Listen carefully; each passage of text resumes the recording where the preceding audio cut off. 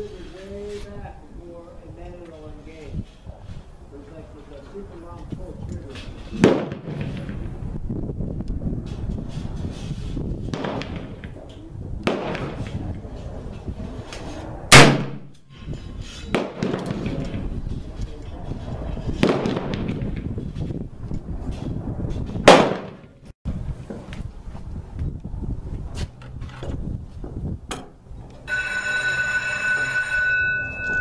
Resume firing.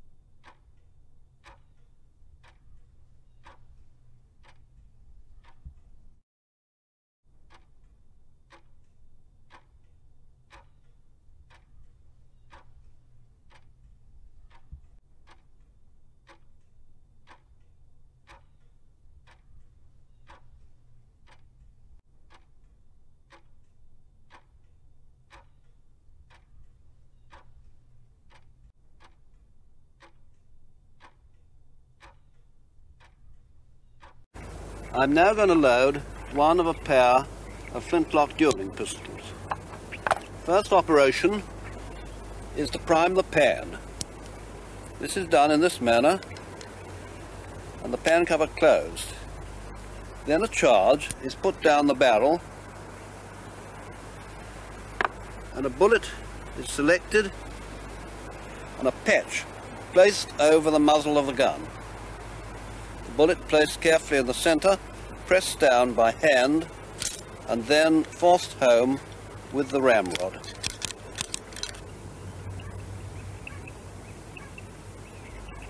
This is a very good example of an English 18th century pistol, made by Mortimer of London somewhere about 1790.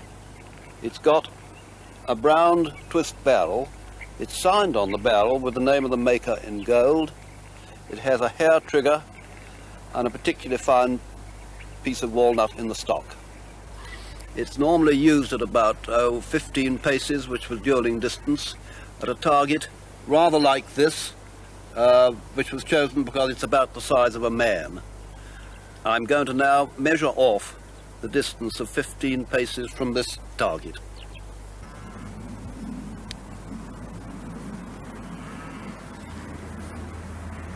When you're fighting a duel, it's got to be a very well regulated affair. No one can fire until the word of command. If such a thing happens, they are guilty of murder.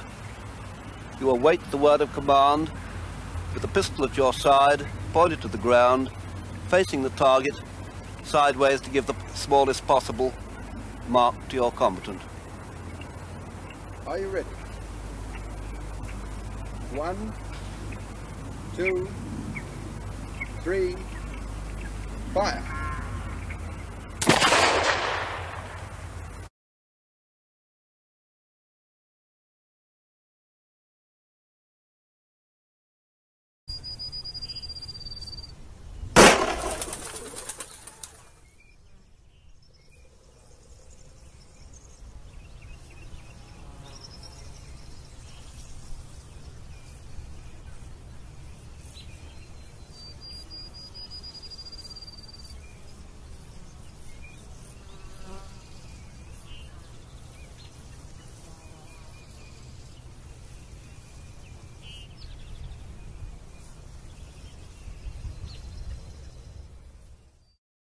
Well, there she is, and what a hell of a pistol she is.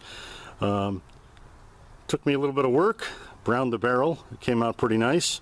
I had to uh, shave down these rear sights because it was shooting way too high, and then I kind of rounded the edges a little bit to make it a little more comfortable, less apt to cut you.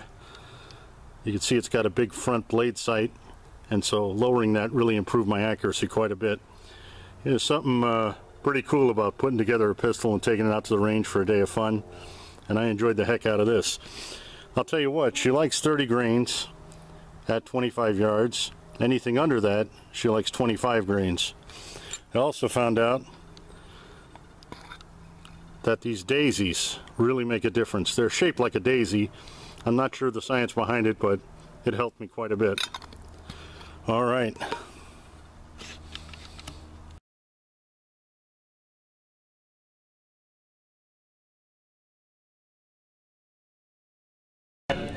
Stay safe, stay warm, stay free.